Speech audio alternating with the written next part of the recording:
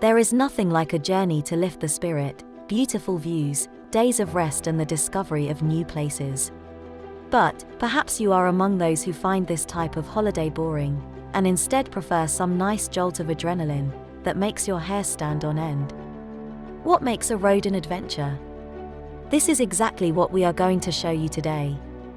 From narrow dirt roads to unpredictable middle of the street bandit attacks, these are 10 of the most dangerous roads you should never drive on.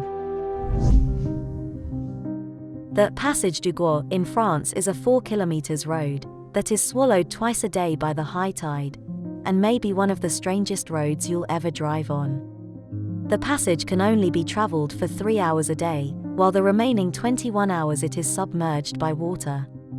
This is due to the two strong tides that affect the whole area. Ignoring the tide warnings can be extremely dangerous.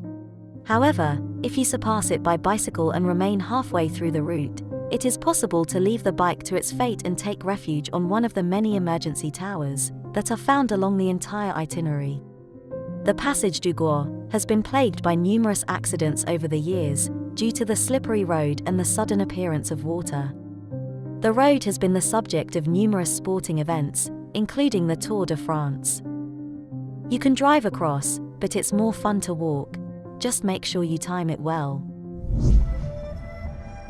Carved into the Taihang Mountains, Guoliang Tunnel is China's most famous tunnel road. The villagers worked five years to build it, to better accommodate tourists.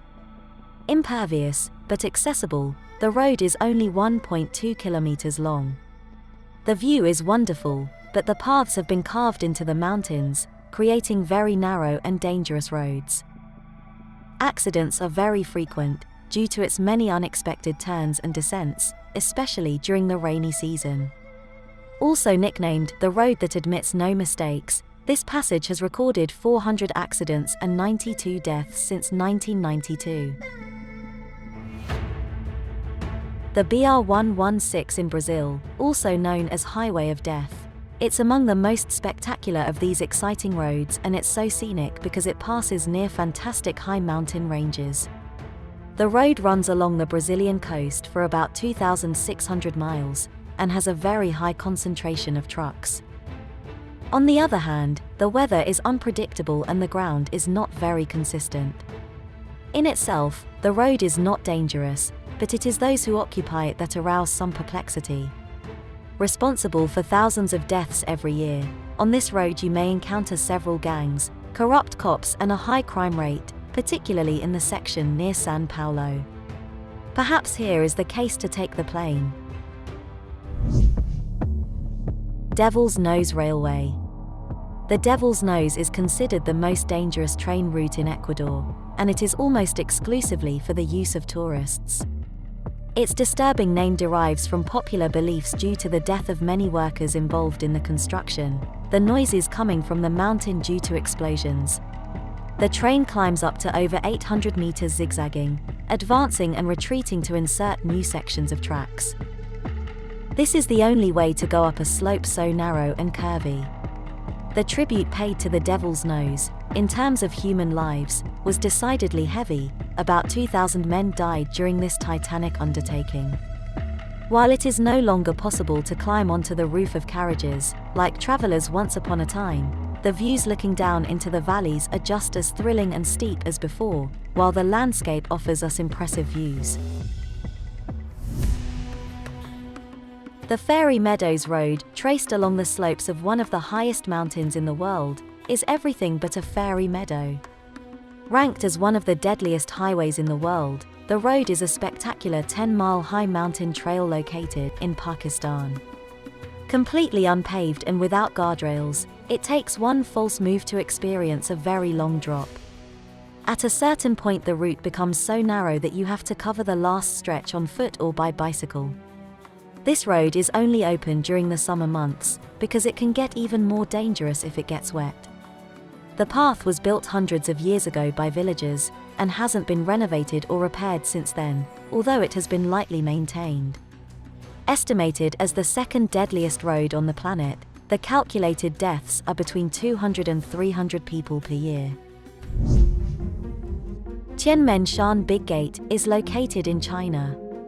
The interesting thing about this route is that it is 7 miles long and has 99 curves overlooking the mountains to frighten even the most experienced drivers. This road serves as a link to reach the top of the mountain, so that you can visit Heaven's Gate, which with its 999 steps, leads up to an extraordinary rock formation. Zojila, one of the world's most dangerous mountain roads in the world, is part of Indian National Highway 1 and crosses the Himalayas reaching a height of 2.2 miles. Most of the Himalayan roads are extremely hazardous but this one is a killer. Dangerously narrow and often muddy or icy, it is littered with crashed cars and overturned buses. The Zojila is especially dangerous for the livestock that is encountered along the 5.6 miles route. Nestled between the Kashmir and Dras basins, it is characterized by very narrow sections and without any protection from ravines and overhangs. The passage is closed for half the year due to heavy winter snowfall, and it takes two full months to clear the roads ahead of the reopening in spring. In addition, it is advisable not to stay too long in the highest part of the pass, as there is the possibility of running out of oxygen. A route on the slopes of an active volcano, the Cotopaxi Volcano Road causes anxiety just by hearing its name. But what drivers may not be aware of is that the volcano is still active. This 25 mile dirt road, which leads to the entrance to the Cotopaxi National Park located in Ecuador, is subject to fatal floods, even during small storms. And if we add here the bumpy, unpaved road surface full of insidious holes, the journey can become a real nightmare. If you don't want to attend an exploding volcano while driving, it's better to avoid the passage at all. The Luxor Hurghada Road in Egypt is the stretch that connects the town of Luxor to Hurghada, a well known seaside resort on the Red Sea. The road is 188 mile long and has been more or less completely renovated. The route became known after the massacre of 1997 where 58 people, mostly tourists, were shot to death by six gunmen. Unlike many other threatening roads, this one is not considered dangerous because of natural or climatic reasons, but by the lack of safety when traveling at night. Here, in fact, when it is dark, People travel with their lights off for fear of attacks by bandits and terrorists who shoot at drivers. Driving this way has caused many head on collisions and fatal accidents. Invisibility might save you from one threat, but there's a good chance it will deliver you into the hands of another. Consider buying some of those night vision goggles if you plan to drive this road at night. The James Dalton Highway, also called Alaska Route 11, is considered to be one of the most isolated dangerous roads on Earth. Its danger is given above all by the remote position in which it is located. Here for hundreds of miles you will not find anything, only unspoiled nature. It is considered the most isolated road in the US as only three villages can be encountered along the way. This 414 miles long road connects Fairbanks to the oil fields to the north, and traffic is mostly made up of huge trucks.